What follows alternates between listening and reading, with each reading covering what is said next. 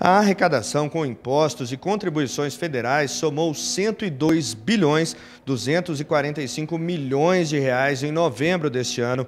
O valor ultrapassa em quase 7 bilhões de reais o que foi arrecadado no mesmo mês de 2015 e representa um crescimento real, ou seja, descontados os efeitos da inflação, de 0,1% em relação a novembro do ano passado.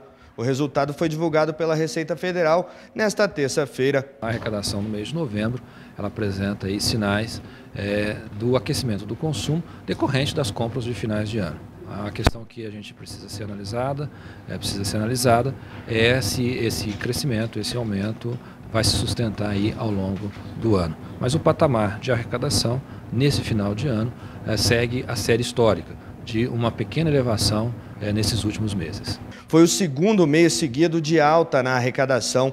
Em outubro, o valor ficou em 148 bilhões e 700 milhões de reais, um recorde para o mês, impulsionado pelos recursos gerados pelo Programa de Regularização de Ativos do Exterior. Ainda assim, na comparação com os 11 primeiros meses de 2015, a arrecadação segue em queda.